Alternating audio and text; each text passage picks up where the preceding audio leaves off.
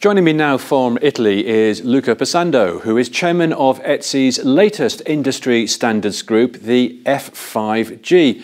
Luca, welcome to Telecom TV. Luca, first things first, what is the F5G? Well, F5G is um, an initiative addressing standards as the fact that it was uh, started in uh, ETSI, which is uh, one of the most relevant SDOs worldwide and uh, it uh, it is all about trying to define the best uh, standards for the evolution needed for the fixed networks, which means many things.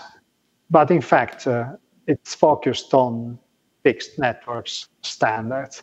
So I would start from that simple definition.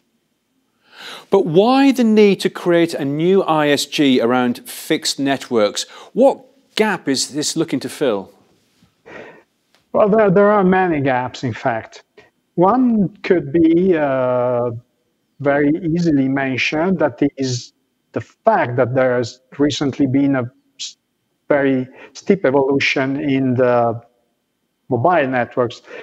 We have now 5G. Uh, it is uh, deployed, it's working. Uh, the standards for mobile or wireless, if you want, but it's mobile. In fact, 5G is uh, are defined.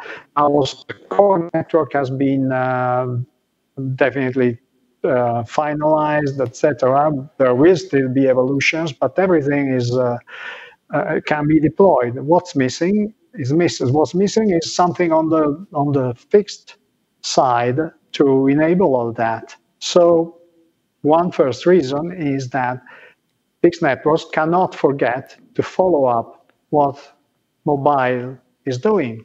But there's not just that, it is also that uh, mobile won't be able to reach everything everywhere. It is a potential, yes, to be very uh, pervasive and to reach um, in certain areas all possible customers, uh, being them uh, physical persons, companies, or just things that are uh, then connected to some private uh, network, uh, let's say consumer Uh, owned networks or some uh, uh, companies, networks, etc. But from the fixed side, there needs to be an equivalent capability. We need to be able with fiber to reach as, as well very little users that can be just objects uh, in some way. That means uh, the last, uh, very last drop would always be radio, possibly for Internet of Things, but we need to get as close as possible to, to these things that are connected. Not only we, we need to enable what 5G, let's say, the, the, the mobile communications uh, are uh, proposing with fiber connections to the uh, base station, even to the antenna, front hauling, back hauling, strongly rely on a progress on uh, fixed technology. Uh, that's not yet defined, and uh, in the past it has been defined in many different places, which is possibly not the best solution. Now, look at the name F5G implies an evolutionary approach to fixed network standards, um, in line perhaps with what's been happening with cellular for decades now.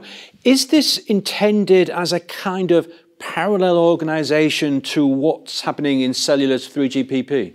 Well, in fact, uh, we don't know yet what exactly it will be the, the future of this initiative. We, we aim uh, at uh, starting very uh, strong, let's say, being able to deliver what are new standards, but also proposals about what other organizations, not ISG, F5G only, but uh, all the other organizations that are active nowadays and have been for decades need to do.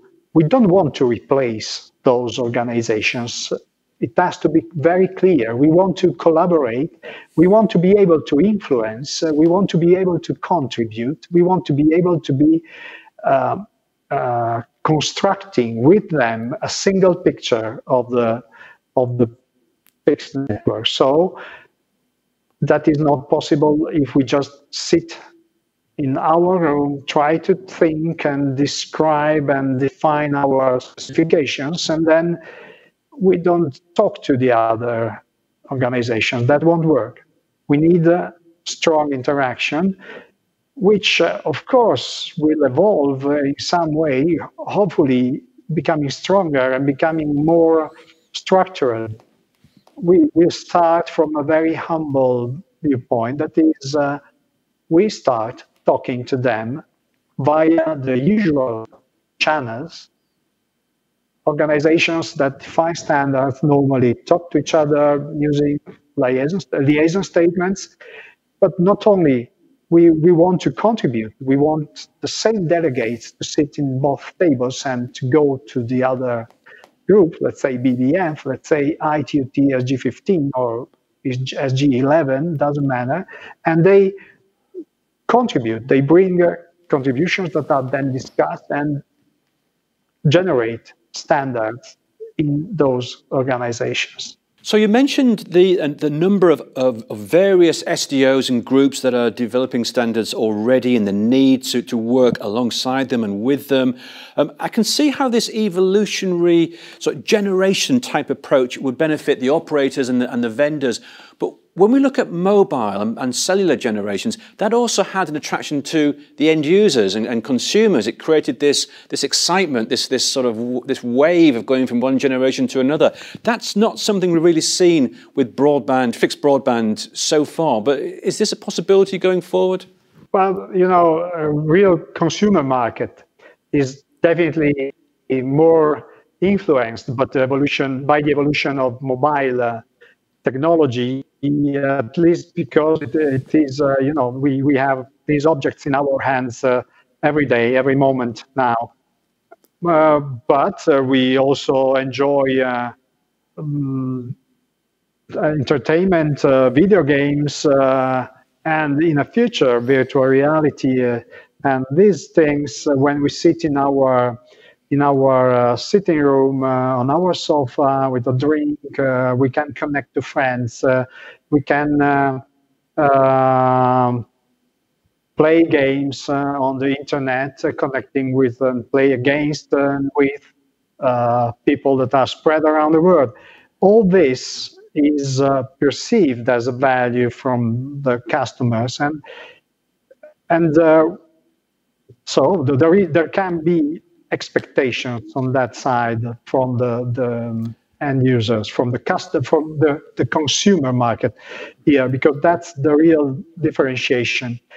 And uh, the more if we are able to say that what is an expected evolution from the mobile side, on the mobile side, will also be something that matches and is not followed, but it comes at the same time and it comes uh, along with a change on the fixed network side. So we are able to say from now on, your 4K TV is in fact 8K TV, and it's enabled by an evolution on the on the broadband connection that you have at your home, thanks to fi- fiber improvements.